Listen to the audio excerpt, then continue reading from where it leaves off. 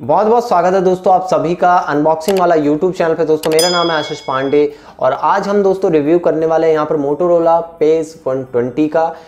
दोस्तों, इसको अनबॉक्स करेंगे और उसके बाद देखेंगे कि कैसी इसकी साउंड होने वाली है और ऑल ओवर इसकी बिल्ड क्वालिटी कैसी है, क्या आपको लेना चाहिए या नहीं। क्योंकि एक बजट ईयरफोन है प्राइस की बात करूँ तो दोस्तों आपको लगभग साढ़े चार सौ से पाँच सौ के बीच में मिल जाएगा। पर अपनी प्राइस को जस्टिफाई करता है या नहीं, ये हम अभी देखने वाले हैं। तो वीडियो को एंड तक देखना, चलिए देखते हैं इसकी अनबॉक्सिंग तो चलिए दोस्तों, करते हैं यहाँ पर इसको अनबॉक्स यहाँ पर आप देख सकते हैं कि मोटोरोला पेस 120 और कुछ मेन हाइलाइट्स जो स्पेसिफिकेशंस हैं। 10 एम का ड्राइवर है वॉल्यूम कंट्रोल आपको मिलने वाला है, वो मैं अभी आपको दिखाऊँगा कैसे। टेंगल फ्री वायर है और माइक्रोफोन भी आपको मिलता है। और अगर मैं बात करूँ तो आप यहाँ पर देख सकते हैं मोटोरोला के जितने भी दोस्तों यहाँ पर ईयरफोन्स आ रहे हैं आजकल, उनमें ये वाला जो एलेक्सा फीचर है, उसके लिए आपको ये हबल जो ऐप है, इसको इंस्टॉल करना पड़ेगा अपने फ़ोन में। उसके बाद आप इन ईयरफोन्स की मदद से इसको एलेक्सा की तरह भी अपने फ़ोन्स में कुछ स्किल्स हैं जो ट्वेंटी थाउज़ेंड स्किल्स लगभग हैं, उन्हें आप यूज़ कर पाएँगे। तो फ़िलहाल चलिए मैंने इसको खोल दिया है और इसको अनबॉक्स करते हैं।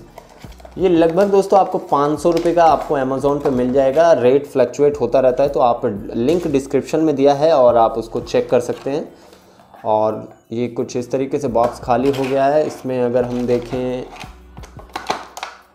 तो कुछ इस तरीके का यहाँ पर दोस्तों जो ये ईयरफोन निकल के आते हैं, वो ऐसे हैं। तो ऑल ओवर बहुत अच्छे लग रहे हैं। तो इसको फ़िलहाल साइड के में रखते हैं थोड़ा और देखते हैं। यहाँ पर एक्स्ट्रा कुछ ईयर टेप्स आपको मिल जाती हैं।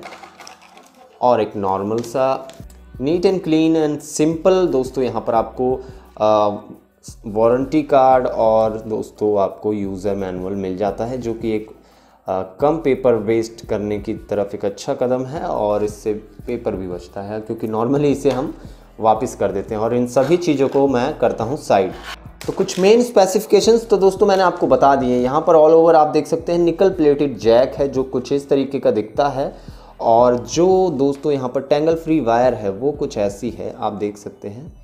और मतलब काफ़ी एक ग्लॉसी सा फिनिश दिया हुआ है और मतलब ऑल ओवर इसे पकड़ने में भी काफ़ी मज़ा आ रहा है। काफ़ी स्मूथ फिनिश है और यहाँ पर आप देख सकते हैं जो इस तरीके का यहाँ पर एक फिनिश है इसके जो केबल पे। तो ऑल ओवर काफ़ी अच्छी फिनिश है और यहाँ पर ये जो कंट्रोलर है इसका तो जो वॉल्यूम कंट्रोलर दोस्तों यहाँ पर बटन दिया हुआ है तो इसको आप इस तरीके से ऊपर नीचे करके अपने मन चाहा जो भी साउंड आपको वॉल्यूम चाहिए वो आप कंट्रोल कर सकते हैं जो कि मुझे एक बहुत अच्छा ऑप्शन लगा है। आ, प्लस माइनस करने से तो ये थोड़ा ज़्यादा इफ़ेक्टिव लगता है। पर लॉन्ग टर्म में ये वाले बटन्स में मैंने देखा है प्रॉब्लम आती है। अब इसमें आती है या नहीं आती इसके लिए तो दोस्तों तीन चार महीने वेट करना पड़ेगा। तो वो मैं नहीं कह सकता पर ऑल ओवर बटन फ़िलहाल मुझे काफ़ी टाइट लग रहा है तो जिसकी वजह से मुझे लगता है कि थोड़ा सा ड्यूरेबल रहेगा। और यहाँ पर एक बटन आपको कॉल आंसर करने के लिए या होल्ड करने के लिए, साथ ही में माइक्रोफोन। तो यार, बजट रेंज में आपको सब कुछ मिल रहा है। एक बटन भी दे दिया है स्टाइल मानने के लिए कि आप साउंड को अपने हिसाब से, जब चाहें कि किसी से बात कर रहे हैं किसी ने आपको टोंक दिया, आप म्यूज़िक सुन रहे थे तो अचानक मोबाइल निकालना पड़ता है और वॉल्यूम कम करना पड़ता है। पर यहाँ से आप डायरेक्ट इसको नीचे कर देंगे और म्यूज़िक एकदम लो हो जाएगा। तो ये बहुत अच्छा एक फीचर लगा है मुझे।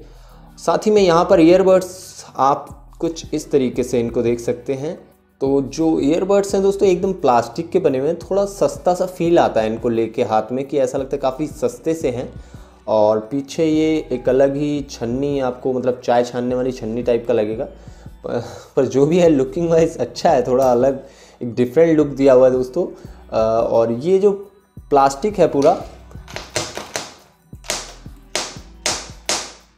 पर ऑल ओवर अगर मैंने, अब इससे ज़्यादा आप अगर इसको पटकने वाले हैं तो यार आपके लिए फिर कोई भी ईयरफोन चलने वाला है नहीं। तो ऑल ओवर तो यार प्लास्टिक पे अभी स्क्रैच तक नहीं आया है।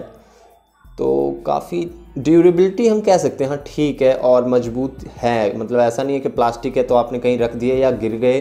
तो चटक जाएँगे या टूट जाएँगे तो ऐसा तो नहीं है। अभी मैंने आपको दिखाई दिया, काफ़ी रफ़ हूँ मैं इन मामलों में।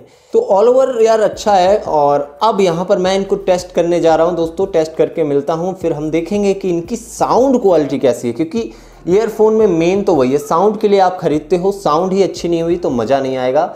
तो साउंड दोस्तों मैं अभी आपको चेक करके बताने वाला हूँ। तो वीडियो को अभी एंड तक देखना।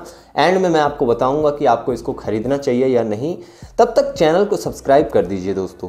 तो कुछ इस तरीके की अनबॉक्सिंग थी दोस्तों, आशा करता हूँ पसंद आई होगी। और यहाँ पर रिव्यू की अब मैं बात करूँ तो देखिए आप देख सकते हैं दोस्तों कुछ इस तरीके के इसकी फिट है। तो ऑल ओवर ग्रिप इस तरीके की प्रोवाइड कराता है जो कि अच्छी खासी ग्रिप है। मतलब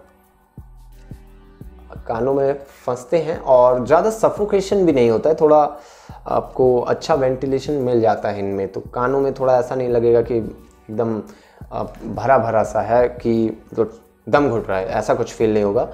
तो ये एक ऑल ओवर अच्छी बात है। अब साउंड की यहाँ पर कुछ बात की जाए तो दोस्तों साउंड बहुत ही डिसेंट है नॉर्मल साउंड है। कुछ खास नहीं लगा कि हाँ भाई कुछ 400-500 रुपए में इसमें कुछ खास मिल रहा है। कि आपको इसमें बेस नॉर्मल मिलता है, बहुत ही अच्छा बेस है। अगर मैं बेस को 10 में से नंबर दूँ दोस्तों तो मैं 10 में से साढ़े सात नंबर दूँगा। और अगर मैं ऑल ओवर म्यूज़िक आउटपुट को यहाँ पर नंबर दूँ तो मैं दोस्तों 10 में से साढ़े आठ नंबर दूँगा। तो ऑल ओवर मेरे को लगता है कि इसको 10 में से आठ नंबर मिलने चाहिए ऑल ओवर साउंड क्वालिटी को लेकर। क्योंकि इसके जो मिड्स और हाइस हैं दोस्तों, आपको ट्रेवल्स बहुत ही नॉर्मल मिलते हैं। ज़्यादा ये है कि साउंड बहुत ही क्लियर आती है साउंड फटता नहीं है कहीं पर और बहुत ही क्लियर साउंड आपको मिलता है। तो इसमें डीप बेस मिलता है दोस्तों। काफ़ी रिच थम्पीनेस ज़्यादा नहीं है मतलब ज़्यादा बेस नहीं है तो पर ऑल ओवर एक अच्छी साउंड है। तो आप चाहें तो इसको ले सकते हैं और कुछ और ऑप्शन भी मैंने नीचे डिस्क्रिप्शन में सजेस्ट किए हैं। आप उनको भी देख सकते हैं। मैं स्ट्रांगली इसको रिकमेंड बिल्कुल नहीं करूँगा क्योंकि बहुत ज़्यादा अच्छा नहीं है। और ओवरऑल ड्यूरेबल है, मैंने ड्यूरेबिलिटी टेस्ट तो आपको करके दिखाई दिया। इससे ज़्यादा ड्यूरेबल वैसे भी ईयरफोन्स नहीं होते हैं। फिर मैंने बता ही रखा है पहले भी वीडियोज़ में कि आप फिर स्पीकर्स खरीद लीजिए। आप ईयरफोन नहीं यूज़ कर पाएँगे अगर आप इतना ज़्यादा रफ यूज़र हैं तो। तो आशा करता हूँ ये वीडियो आपको पसंद आई होगी। इसी बात पे एक लाइक कर दो और यार शेयर कर देना इस वीडियो को। दोस्तों को बोलो कि वो भी चैनल को सब्सक्राइब करें।